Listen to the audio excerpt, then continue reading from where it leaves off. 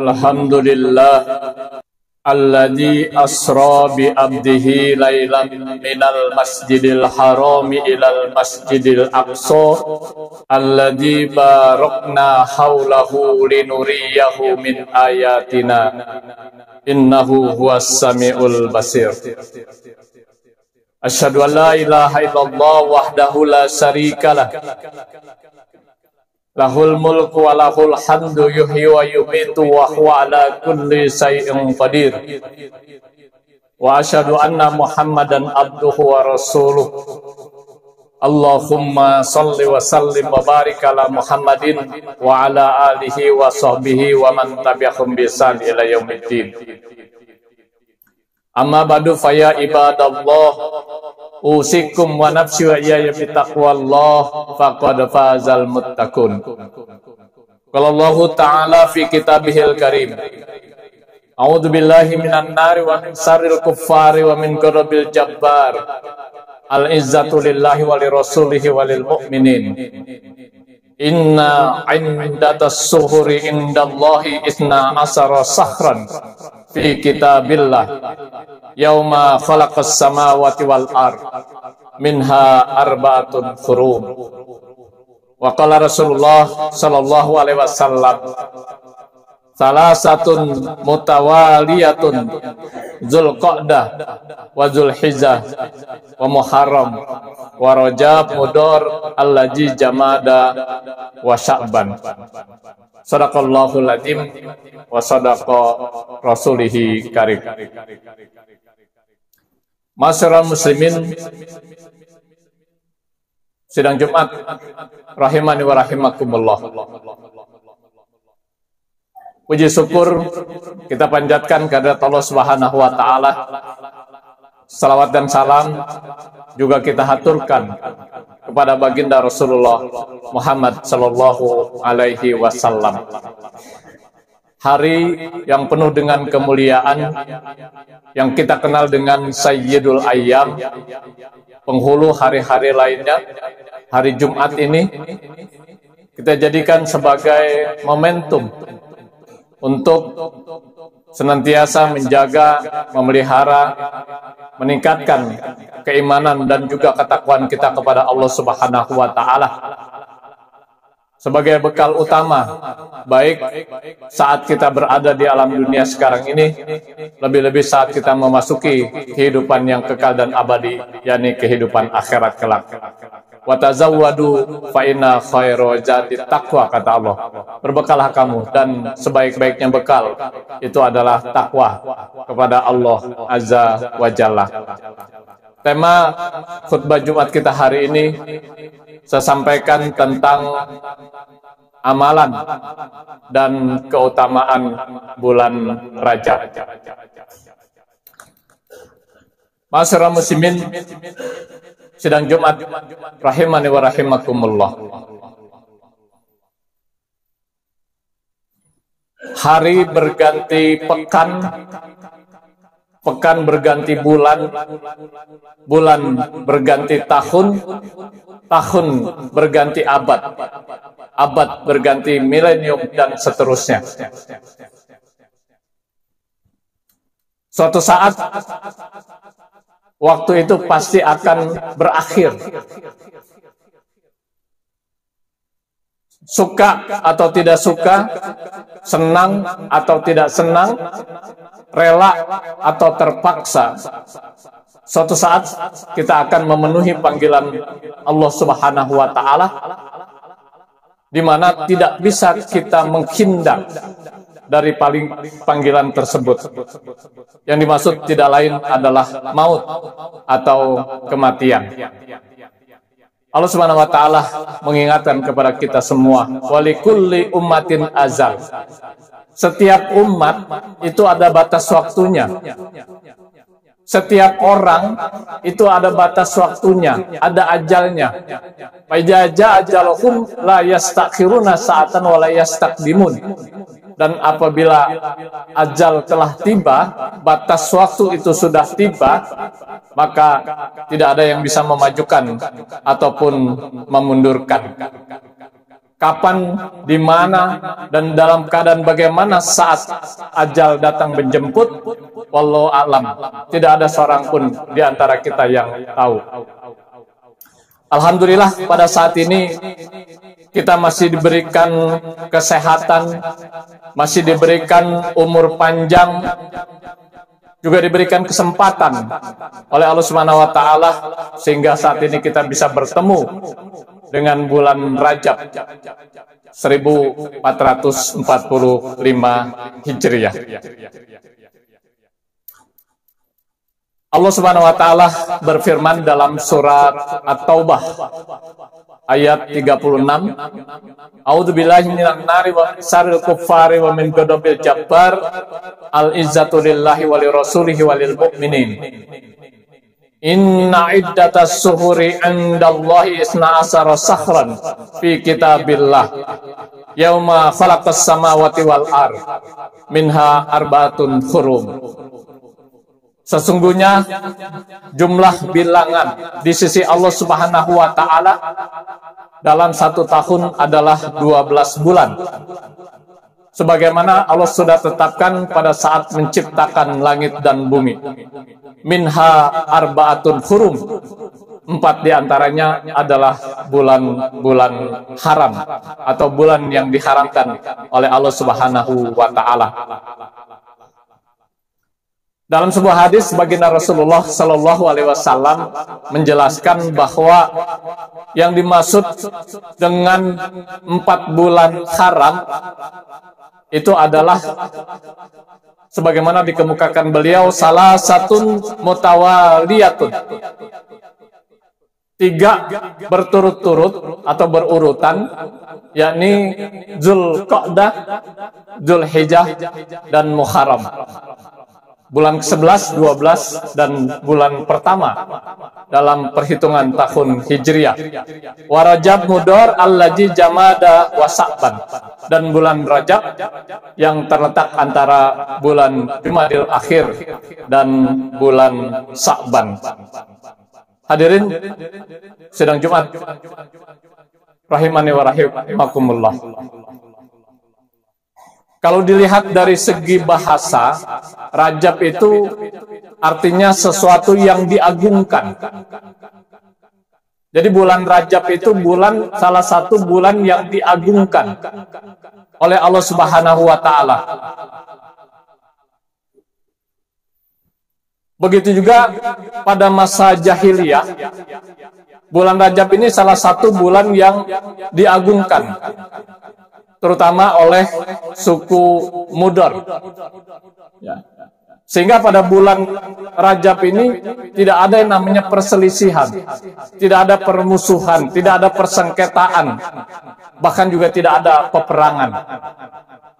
Bangsa Arab jahiliyah termasuk suku Mudor memuliakan bulan Rajab sehingga betul-betul tidak ada permusuhan dan persengketaan di bulan tersebut. Karena Allah karena itu Allah Subhanahu wa taala menjelaskan kepada kita tentang keutamaan-keutamaan bulan Rajab. Salah satunya dalam penggalan surat At-Taubah ayat 36 di mana Allah mengatakan fala tazlimu fihinna anfusakum. Ya. Maka janganlah kamu menjolimi diri kamu sendiri pada bulan Rajab tersebut. Hadirin sidang Jumat rahimani wa rahimakumullah. Seorang ulama tafsir Ibnu Abbas mengatakan bahwa bulan Rajab adalah bulan tempat kita berlatih. Bulan Rajab adalah bulan tempat kita menunaikan amalan-amalan soleh yang dimuliakan oleh Allah Subhanahu wa Ta'ala. Bulan Rajab juga bulan di mana kita diperintahkan untuk menjauhi perbuatan-perbuatan yang kontradiksi, perbuatan-perbuatan yang tidak baik. Termasuk ketika kita menjolimi diri kita sendiri sebagaimana dikemukakan dalam surat At-Taubah ayat 36 tersebut.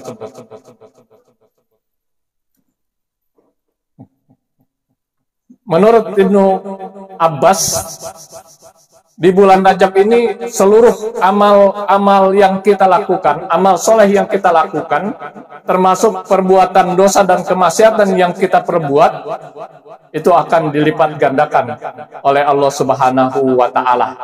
Pantas kalau Allah mengingatkan, "Fala tusrimu fihinna anfusakum." Masyaallah muslimin sedang Jumat rahimani wa rahimakumullah ayat Al-Quran dan maupun hadis Rasulullah Shallallahu Alaihi Wasallam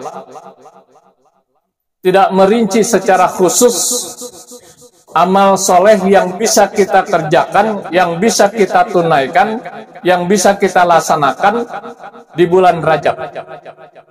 Namun para ulama memperkenankan dan menganjurkan kita untuk banyak melaksanakan amal-amal soleh di bulan Rajab. Lebih kita tingkatkan dibandingkan dengan bulan-bulan yang lain. Di antara amalan-amalan yang disyariatkan untuk kita laksanakan adalah pertama memperbanyak puasa di bulan Rajab. Tidak ada dalil yang kuat yang menyebutkan puasa khusus di bulan Rajab. Tetapi yang dimaksud tentu adalah puasa-puasa yang memang sudah disyariatkan oleh Allah dan Rasulnya. Kita tingkatkan kembali. Di antaranya adalah puasa hari Senin dan Kamis, puasa Yaumul Bid, pertengahan bulan, pada tanggal 13, 14, 15 bulan Komariah dan yang lebih intensif adalah puasa Nabi Daud yang kita laksanakan sehari puasa sehari tidak dan seterusnya. Intinya kita diperintahkan oleh Allah dan Rasulnya memperbanyak lebih memperbanyak puasa di bulan Rajab dibandingkan bulan-bulan yang lain. Kemudian yang kedua adalah meningkatkan kuantitas dan kualitas ibadah sholat kita. Hal ini juga erat kaitannya dengan peristiwa Isra dan Mi'raj baginda Rasulullah Muhammad Shallallahu Alaihi Wasallam. Kita pahami bahwa dalam peristiwa Isra dan Mi'raj Allah Subhanahu wa taala memerintahkan kita untuk melaksanakan ibadah sholat. Begitu pentingnya ibadah sholat ini, sehingga perintah sholat ini tidak lagi melalui perantaraan malaikat Jibril, seperti ibadah-ibadah yang lain pada umumnya, tapi langsung mendatangkan baginda Rasulullah Shallallahu Alaihi Wasallam ke Sidratul Muntaha atau yang kita kenal dengan langit yang ketujuh, dan langsung disampaikan Allah Subhanahu Wa Taala kepada beliau. Karena itu momentum bulan Rajab, amalan yang kedua yang hendaklah menjadi skala prioritas kita meningkatkan kuantitas dan juga kualitas ibadah sholat kita. Hadirin sidang Jumat rahimani wa rahimakumullah. Untuk meningkatkan kuantitas ibadah sholat bukan berarti sholat wajib kita tambah jumlahnya dari lima waktu menjadi lebih karena hal itu dikategorikan sebagai bid'ah yang sesat. Tetapi yang dimaksud adalah kita tidak merasa cukup, tidak merasa puas, hanya melaksanakan sholat wajib saja dalam aktivitas kita sehari-hari. Tetapi kita tambah dengan sholat-sholat sunnah yang memang banyak disyariatkan dan diperintahkan oleh Allah Subhanahu wa Ta'ala kepada kita minimal tiga sholat sunnah yang kita dawamkan setiap hari. Yang pertama adalah sholat sunnah rawatib. Sholat yang kita kerjakan sebelum dan sesudah sholat wajib. Atau kita kenal dengan sholat sunnah qobliyah dan sholat sunnah ba'diyah. Kemudian yang kedua yang kita kerjakan di malam hari, yang kita kenal dengan sholat tahajud atau sholat malam. Begitu utamanya sholat malam ini, sampai-sampai Allah menegaskan dalam satu ayatnya, Bismillahirrahmanirrahim, wa minal laili fatahajat bihi nafilatalak, asa ayab asaka robuka makomam mahmuda. Jadi kalau kita gemar, suka, rajin, laksanakan tiamul lail, Allah subhanahu wa ta'ala akan menempatkan kita ke tempat yang terpuji makomam mahmuda. Kemudian yang ketiga adalah yang kita kerjakan di pagi hari, yang kita kenal dengan sholat duha. Luar salah satu penggalan sholat duha, doanya luar biasa. Allahumma in kana rizqan fis sama fa anjirhu, wa fil ar fa ahrisu, wa in kana mu'assaran fa wa ya arhamar rahimin. Ya Allah sekiranya rezeki saya ada di langit, turunkanlah. Sekiranya rezeki saya ada di bumi, keluarkanlah. Sekiranya rezeki saya sulit, mudahkannya. Sekiranya rezeki saya ada hal-hal yang haram, bersihkanlah. Itu salah satu penggalan doa dari sholat duha.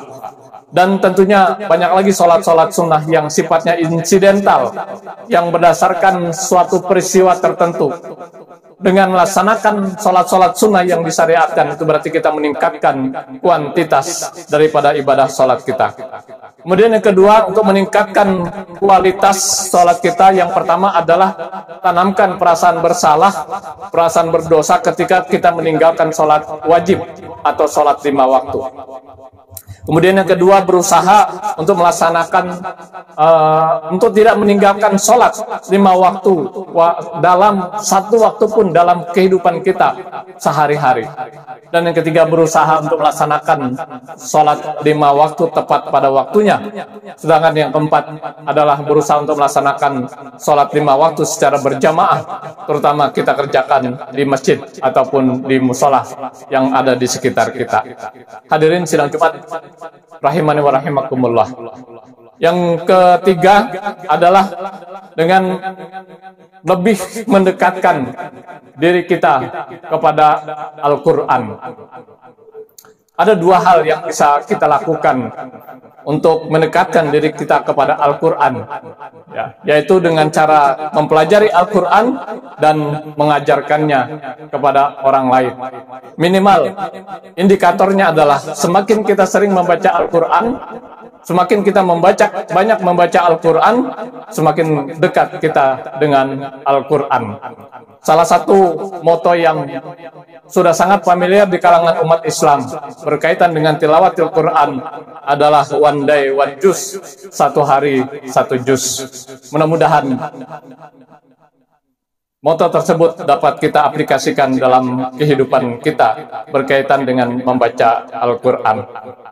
Kemudian yang keempat, kita diperintahkan juga untuk segera bertaubat kepada Allah Subhanahu wa taala.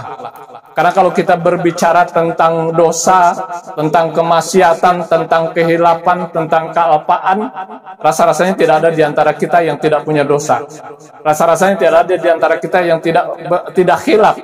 Karena kata Rasulullah, orang muslim itu bukan orang yang tidak pernah berbuat salah. Orang muslim itu adalah orang yang ketika dia berbuat salah, dia ingat kepada Allah lalu beristighfar dan memohon ampun kepada Allah Subhanahu wa taala. Allah Subhanahu wa taala menegaskan dalam surat Ali Imran ayat 133. Bismillahirrahmanirrahim. Wasari'u ila magfiratin min rabbikum wa jannah arduha samawati wal ar uiddatil muttaqin. Masyaallah muslimin sidang Jumat rahimani wa rahimakumullah di samping amalan-amalan soleh yang banyak disyariatkan untuk kita tingkatkan di bulan Rajab, ada juga keutamaan-keutamaan bulan Rajab yang Allah Subhanahu wa taala jadikan sebagai ibroh buat kita. Di antaranya yang pertama adalah peristiwa Isra dan Mi'raj baginda Rasulullah Muhammad sallallahu alaihi wasallam. Kemudian yang kedua, kemenangan Nabi dalam perang Tabuk itu juga terjadi pada bulan Rajab. Yang ketiga adalah dibebaskannya Masjidil Aqsa oleh Salahuddin Al-Ayubi, panglima perang salib pada waktu peperangan salib yang berkepanjangan saat itu. Dan masih banyak lagi peristiwa-peristiwa yang terjadi di bulan Rajab yang bisa kita jadikan ibroh, kita jadikan sebagai pelajaran untuk kita bisa meraih keutamaan dan juga kemuliaan bulan Rajab. Hadirin sidang Jumat rahimani wa rahimakumullah. Oleh karena itu, kita berharap dan berdoa kepada Allah Subhanahu wa taala. Semoga Allah Subhanahu wa taala memberikan kita di bulan Rajab ini kekuatan untuk bisa beramal soleh secara optimal dan maksimal, baik yang wajib maupun yang sunnah. Begitu kekuatan untuk meninggalkan hal-hal yang diharamkan oleh Allah Subhanahu wa taala, termasuk juga hal yang dimakruhkan oleh Allah Subhanahu wa taala. Dan mudah-mudahan kita semua dapat dipertemukan oleh Allah dengan bulan Ramadan yang sebentar lagi akan hadir di tengah-tengah kita. Barakallah liwalakum fil Qur'anil adim wa nafa'ani wa iyyakum bima fihi minal ayati wa dzikril hakim wa taqabbal minni wa minkum tilawatahu